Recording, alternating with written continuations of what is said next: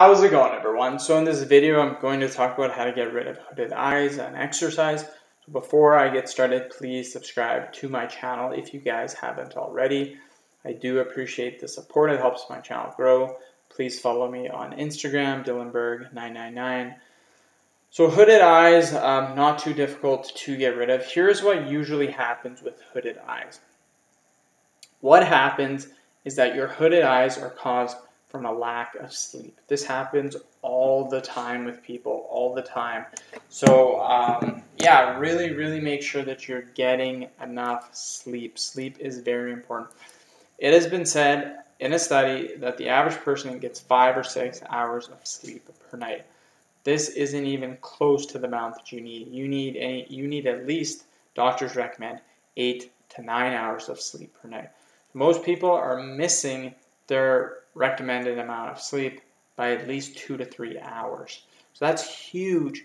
And that is why a lot of the time you will see people with hooded eyelids. Like it's awful. It's awful to see people with these hooded eyes, you guys. It's just not good at all. So highly, highly recommend you guys, highly recommend that you um, that you get eight to nine hours of sleep per night.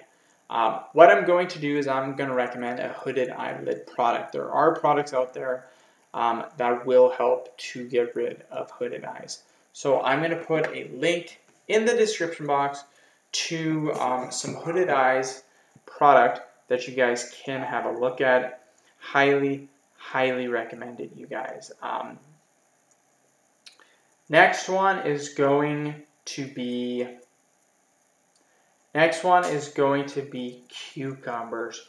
Cucumbers are amazing for getting rid of hooded eyes. The reason why they are so good, you guys, is because that is what um, that is what um, they have been used for for a long, long time, you guys. Um, so yeah, uh, cucumber works really, really nicely. Um, next one is going to be tea. The tea bags have tannic acid in them, and tannic acid is amazing for getting rid of hooded eyes. So highly, highly recommend that. Um, vitamin B12 supplement, these are really, really good for getting rid of hooded eyes. So something to um, check out. Um,